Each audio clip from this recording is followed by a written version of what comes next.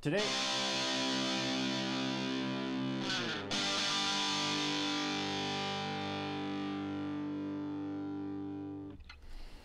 Other interesting cultural news you have Dove Soap promoting fat liberation, quote unquote, and hiring a morbidly obese woman who is also a BLM activist and apparently a serial liar who got people fired.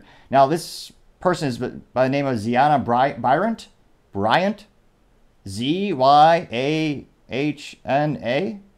Zyahna? Bryant, B R Y A N T. And this person was hired directly by Dove to promote fat liberation.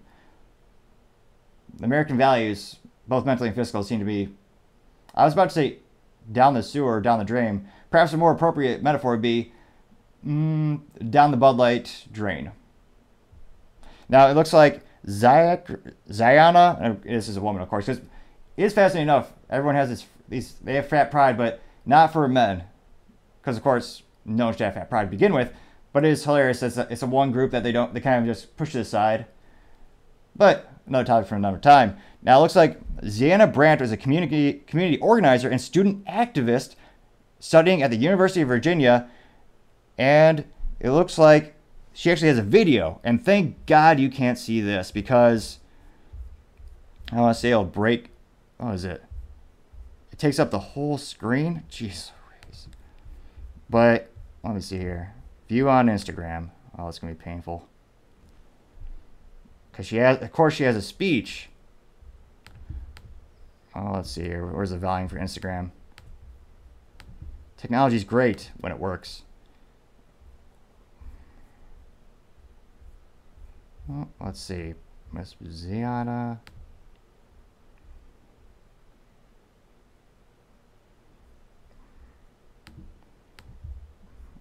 Oh, here it is. All right, so she is uh, cool. She couldn't fit in a smart car. Let's just say that, or a Hummer, but bring the voices and experiences of the most marginalized people and communities at all times. So when I think about what fat liberation looks like to me, it looks like centering the voices and the experiences of those who live in and who maneuver through spaces and institutions in a fat body. It, did she make a pun on herself? It's hard to maneuver. I mean, physically, yes, of course, it is difficult. Perhaps why you should adjust your caloric intake. And I should make a caveat. It is sad because some people do have medical issues. Some people do the to their gene. There's a many myriad of reasons why someone may be overweight, and some of it is because of prescription drugs, because of the side effects, metabolism. There are some things where it is sad because some people cannot. But we have this more and more in the United States where they are glorifying voluntary overweight and obesity and overall laziness, which I find morally abhorrent and disgusting. So just a little caveat, perhaps to beat the comment section. Time shall tell.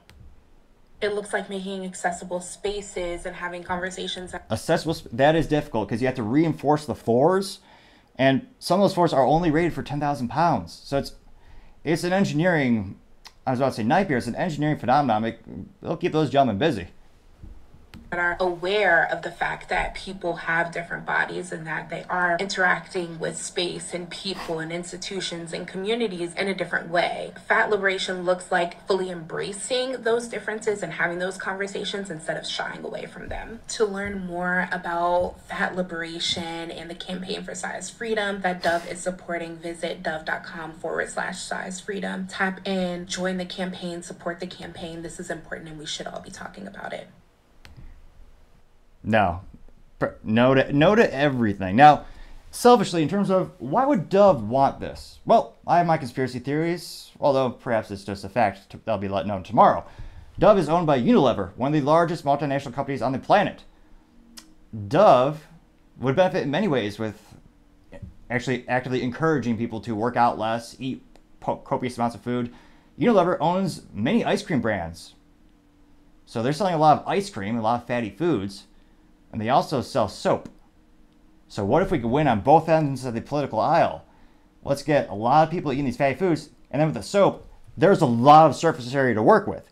You're to need a high volume, not 12, maybe 11 and a half Dove bars for that surface area to cover it appropriately. So it would improve, it will improve their sales if it works, but there's also a boycott Dove trending on the Twitter. Because again, from a society and cultural perspective, I believe we should be encouraging everyone to be the best they can be.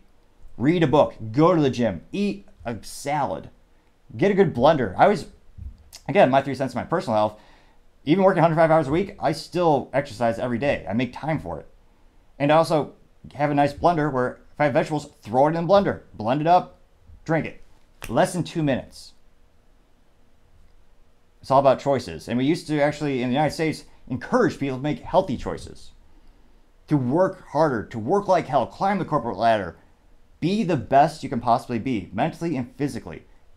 Everyone can improve, including myself, of course.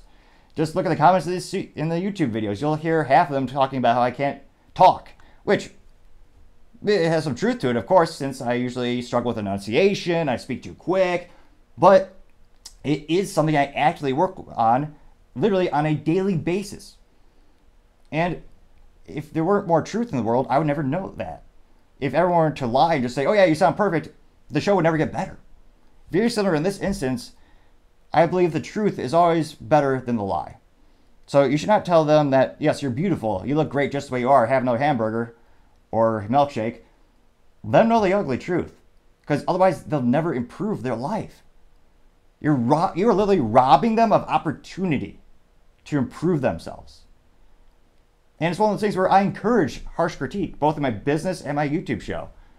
Because as much as it may hurt, it's how you grow, it's how you develop. And thanks to the comments, at least let me know I've had some improvement on speaking slower and more articulate, and I've had to put a lot of effort into that.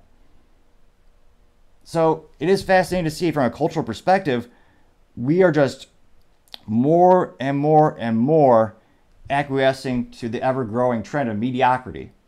And again, I'll make that caveat for the second time. It is sad some people do have inherited medical issues where they will be overweight. I'm not saying this doesn't exist. I'm making the argument that many, if not a majority of the cases, it's voluntary. It's because of circumstances that they are choosing. And I'll actually cut off the one thing in terms of someone's going to complain about it costs a lot of money to eat healthy. No, it doesn't. When I first started my business, I lived below the poverty line. I would buy a two bag pound of carrots from Walmart for I think it was $1.99. You could buy affordable, raw, healthy food. It might not be convenient because you have to prepare it at home. And it doesn't come pre-packaged, which yeah, pre-packaged is very expensive. And food on the go, yes, that's difficult to find food on the go that's healthy at an affordable price. But if you work, again, it's all about choices. I woke up extra early. I would prepare my food myself. So again, you are in control. But that's the last self motivation we'll do for the time being. In terms of getting back to Brianna, there's a, or Byron, there's a lot of content on here, and it looks like. Oh my gosh, my eyes hurt. At age 12, she organized her first demonstration, a rally for Trayvon Martin during an unarmed, during that controversy. Byron 22. She went on to organize the Black Student Union at her high school, joined the Charlotte Youth Council. So she is, again, some. I'm not saying all these act, political activities are bad.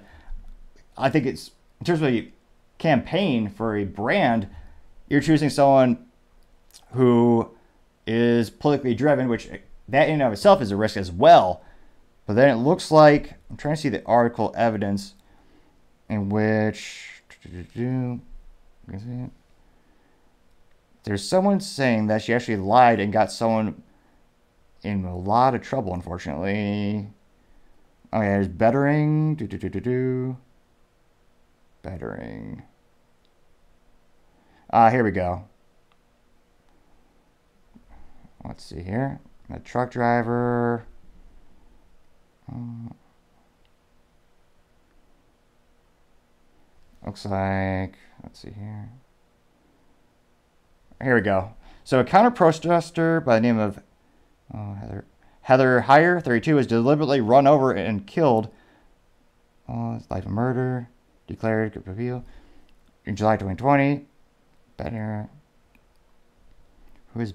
I'm trying to find the person's whole name. So it looks like in 2020, amid the George Floyd protest, uh, putting out the framing of you know every website's a little bit different. Some call it a protest, some call it a riot. fascinating framing how it works. Now it says in July 2020, amid the George Floyd protest, Better Bettinger mistakenly drove into a street where protesters gathered. As she tried to get away, her car was encircled. Now, Bettinger said that she told a truck driver who was in front of her and blocking the way, It's a good thing you're here because otherwise these people might have been speed bumps. Byron tweeted that Bettinger had said the protesters would have, quote, made good speed bumps. So, literally lying about what she said. It looks like Bettinger was quickly identified, and the, with the revelation that she was pro police, and with a late father who worked for the police force, there were more outrage about, around her critics. It looks like Byron and others called for severe punishment and expulsion from the W or the UVA because she said it's a good thing you're here, otherwise they would have been speed bumps. You want her to be expelled of that? They literally, literally lied about what she said. Now it looks like Byron then embarked on an email campaign to have her expelled, tweeting, quote, email these UVA deans now demand that Morgan face consequences for her actions and the UVA stop graduating racist? Another common thing you'll see, again, where was any evidence of racism? It seems to be a hobby for some folks to just make it all up because they know society will frown about it, as they should. Racism is ugly and disgusting. It's morally abhorrent. But it's also been used so often, and now that it's been used as a political bludgeon so often, you see in this case they're using it and there wasn't any real racism that is evident. With the evidence we have all right here, I'm not seeing it. Now, Byron was mistake subsequently shunned at college and even stalked from her hometown, making her fear of safety. UVA's Judiciary Committee later found Bettinger guilty of making a legitimate threat despite being unable to prove Byron's claim about her intentions.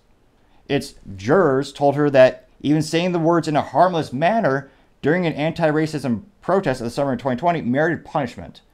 Byron also filed a complaint with the school's Office for Equal Opportunity and Civil Rights, where the student activist blamed Bettinger and made the statement five, five times, made the statement five times, and had discriminated against Byron on the basis of race. EOCR found that three of the five accusations could not be corroborated, and Byron herself later admitted she may have misheard. So Byron, the giant new spokesperson for Dove, later claims, oh yeah, she may have misheard it. May have misheard it. Oh, interesting. Now, most damningly, the, por- the report, which was brought forth because of Byron's complaint, found Byron was most likely most likely did not hear Bettinger making the comment firsthand. No eyewitnesses were able to corroborate Byron's version of the events. Continuing saying, quote, based on Byron's immediate and surprising tone following the second and third party's reply, EOCR finds it more likely than not that it was at that moment Byron's first learned that Bettinger made a statement about protesters making speed bumps report. And so the Judiciary Committee ruling is still noted on her permanent record, ruining the graduate's chances of going to law school. Bettinger is considering a lawsuit. Yes. So they found someone who is ugly, not just on the outside, but on the inside with her morals, which I was always someone who was of the opinion that you judge a man by his actions and his morals. I can't consider a worse spokesman than this person who literally lied to try to get someone expelled.